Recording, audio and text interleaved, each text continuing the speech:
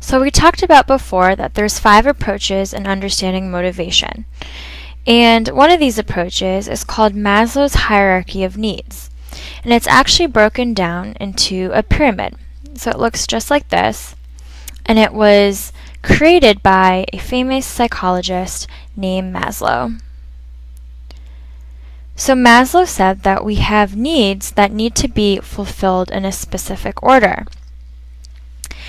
And it has to start from the bottom of the pyramid all the way to the top. So our most basic need is our physiological need.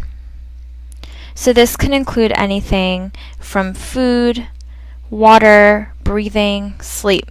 All of these are essential needs to survive, basically. The second level is our need for safety.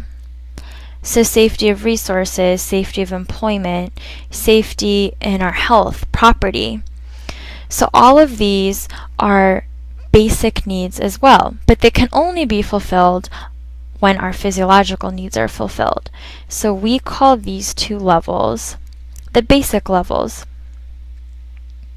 Now he went on to name a third level, and this is our level of love, our need for love, our need to belong, a need to have friends and family. So this level of needs is what we call our social needs.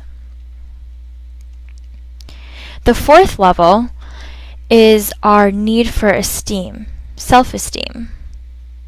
So we like to feel confident and have a sense of achievement in what we do.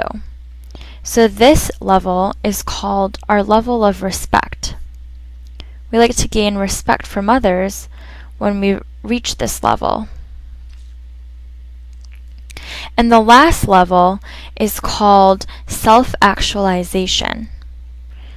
It's a big word, but it's basically our need for wanting morality, a sense of morality, a need for acceptance, and also creativity.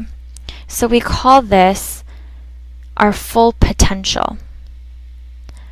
So think of this as climbing Mount Everest. You have to start at the bottom, but then along the way, you're going to have different checkpoints. Each of these checkpoints are managed by all the Sherpas on the mountain. You can't go from the bottom to the next level unless you check in with the Sherpa and he makes sure that you're okay, you've eaten properly, you're getting enough rest, and only then can you jump to the next level. Again, a Sherpa there at the higher level is going to check and make sure you're breathing okay, you're not, you're getting enough oxygen, and so on. So you get to the next checkpoint and the next checkpoint, and finally, you're at the top where you've realized your maximum potential. So this is called Maslow's hierarchy of human needs.